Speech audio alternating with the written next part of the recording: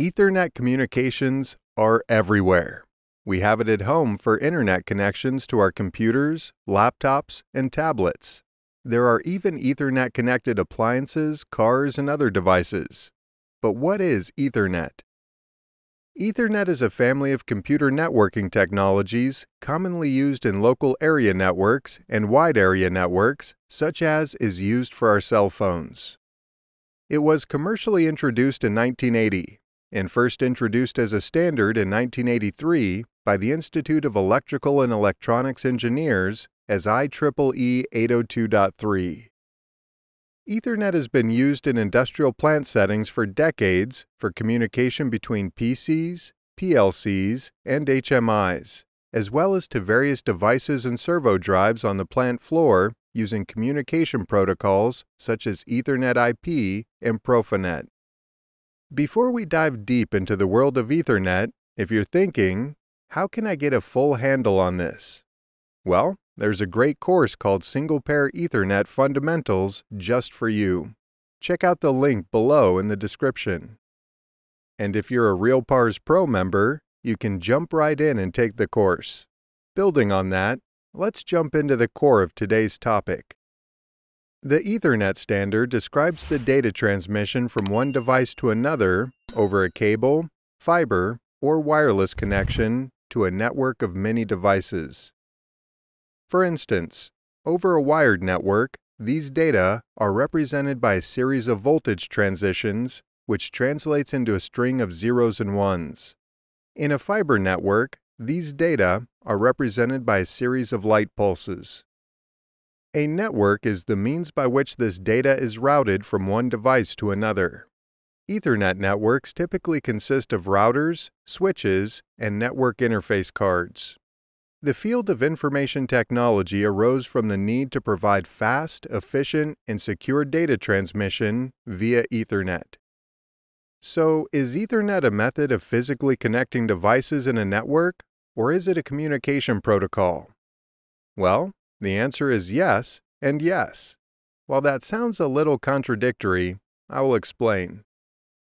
Ethernet can be described using the OSI model. This model is explained in detail in a RealPARS course on single-pair Ethernet. The OSI model describes any communication protocol as a collection of seven layers, as shown here. The bottom layer is called the physical layer, the Ethernet physical layer describes the hardware required to connect the device to the network. It may consist of a wired connection using a four-pair cable, such as Cat6, and connectors, such as RJ45 connectors, a wireless connection, a coax cable, or a fiber optic cable. OSI layers 2 to 7 that reside above the physical layer determine the structure of the Ethernet communication packets. These packets are composed of many bytes of data arranged in a very specific way, with the purpose of sending messages and data from one device to another.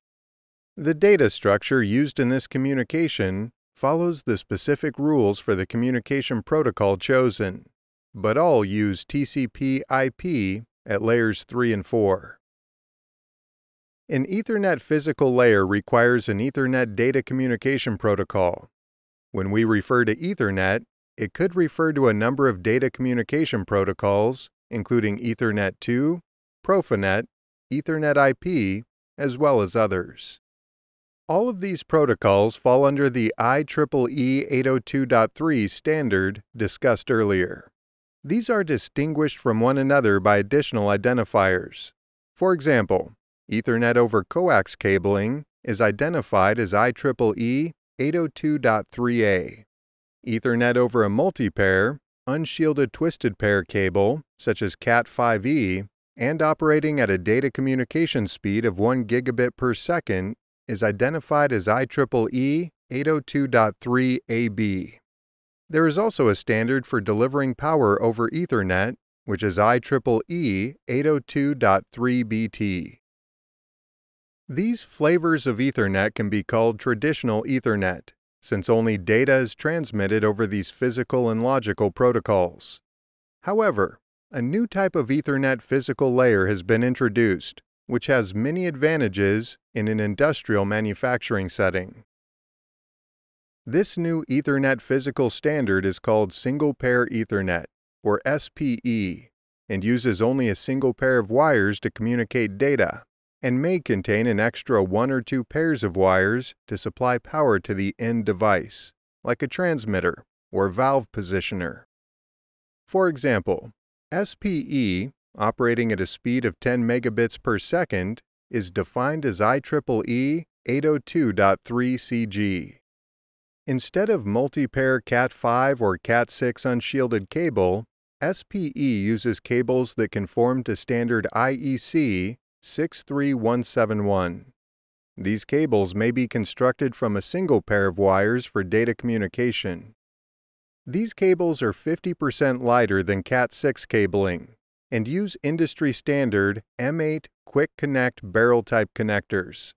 This makes SPE ideal for installations, such as inside robots. The ability to wire a sensor or actuator directly to a network without having to use an intermediate box, such as a remote I.O. panel, is now possible. Data can be evaluated directly by a connected PLC or other device, such as SCADA software. This makes the overall architecture simple and cost-effective. IEC 63171-6 SPE cabling may also include a separate pair for power, which can deliver up to 8 amps to end devices arranged in a multi-drop configuration called Power over Data Line. The reduction in the amount and complexity of wiring can translate into significant cost savings and increased data transmission speeds as opposed to traditional field buses. Since SPE is a physical protocol, the same logical protocols for data communication can be used, as with traditional Ethernet. Sensors and actuators are being developed for Profinet, Ethernet IP, and others. So which Ethernet is right for your application? First, you need to determine your data needs and the requirements of your infrastructure. If you have an existing infrastructure that is based on traditional Ethernet network devices and cabling, it would be logical to extend that network with similar components.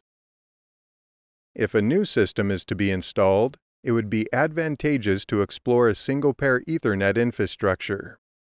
SPE uses similar but different network switches and equipment, so an initial investment in SPE-compliant devices will need to be made. However, this investment will pay itself back with savings in cabling and installation costs, even for small installations. Of course, Ethernet of any kind is about the collection and transmission of data. In order to use SPE, a suitable end device, such as a pressure transmitter, is required. As more and more SPE devices are introduced, the additional choices will allow for the selection of devices with the best features for the plant. For plants undergoing upgrades or modifications, gateways are available to link new SPE subnetworks to existing plant field bus networks. This stepwise approach to SPE can allow for the benefits of SPE to be obtained over multiple projects, allowing for a cost-effective approach to SPE without major downtime or interruption to plant operations. The best news is that you have a choice. Determine your data and network needs and plan for a successful installation of traditional Ethernet or single-pair Ethernet networks and devices on the plant floor. That wraps up our discussion on single-pair Ethernet versus traditional Ethernet. If you're eager to dive deeper and fully understand Ethernet's intricacies, remember, there's the Single Pair Ethernet Fundamentals course waiting for you. If you're a RealPARS Pro member, you have direct access. Check the link in the description to learn more. Thanks for watching, and happy learning!